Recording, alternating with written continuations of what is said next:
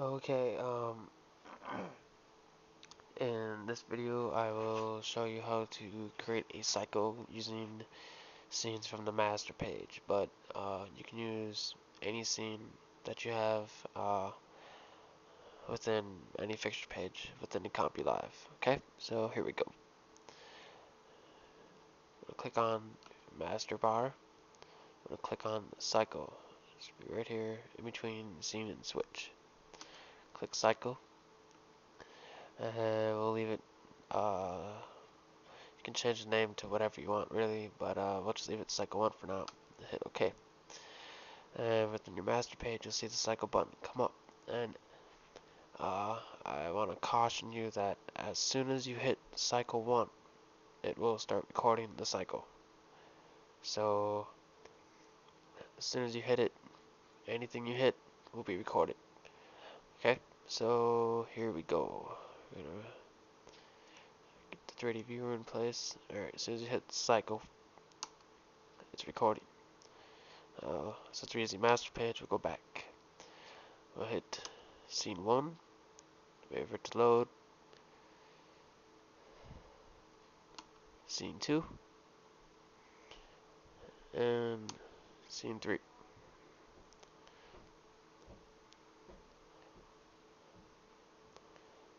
and uh, hit off. Hit your cycle page, hit stop, or hit the record button actually. See these buttons right here? These will allow you to do certain things in the cycle feature. This will uh, allow you to change the time mode from relevant to absolute.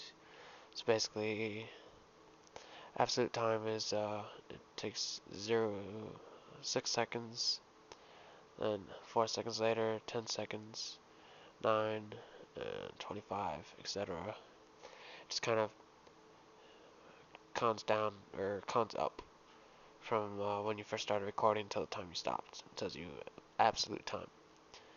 Relevant time is just to let you know how long each scene plays for. So and you'll notice uh, the fade in times before fade and fade out. Those can all be adjusted uh, within the page settings themselves. I just applied a fade time just on the master page because what you do is you for fade times actually we'll just cover this briefly uh, on your master page right click down to scene fade toolbar. This will pop up and any scene that you click on you'll have the option of uh, checking the box and you can uh, assign fade up times and hold times. These uh, these ones right here this one right here and this one right here are usually used for like pars or whatever so I don't know. There's it's still a feature that I'm still learning to to this day. So let's unclick that. So say for example you hit your scene one button. You can change the fade time. It'll fade up. You can have it wait before it fades, and then you can have it wait after the fade. So say for example go one.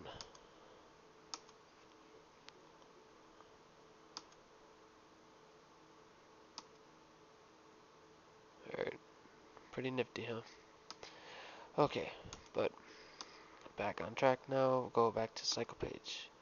What you want to do is, uh, after you have your cycle, you can uh, change the time of it. So, actually double click on that or hit this button here to change the relevant time or can change the time, uh, like how long it plays for and stuff like that. So we'll actually hit play and should be a window uh, pop up uh, ask if you want to save the cycle. So here, go back to master page, hit cycle button, Do you want to save the cycle? Yes. And so you can see it playing back.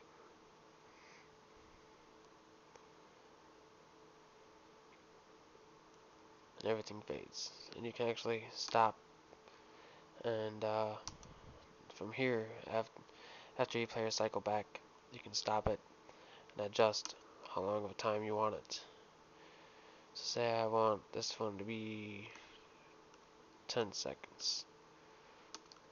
Just that. And click OK. So if you want uh, your cycle to loop in like 10 second intervals, you can do that as well. You can just adjust the time that each one plays for.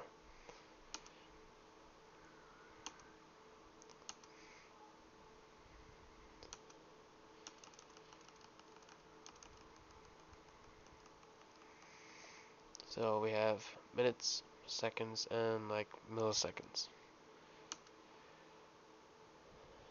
For the iron IT, if you just want a straight loop, no blackout, you just have it at just like the minimal amount that you can have, like seconds. Okay, so we'll hit play. Ask if you want to save the cycle. Hit yes.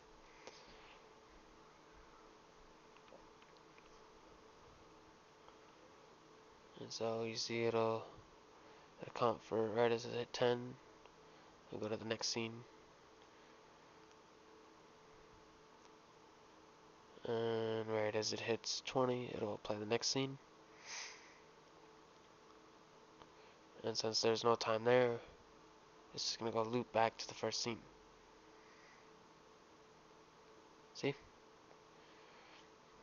So, all in all, it's pretty cool hit stop, and everything's already saved. So that's how you do cycles.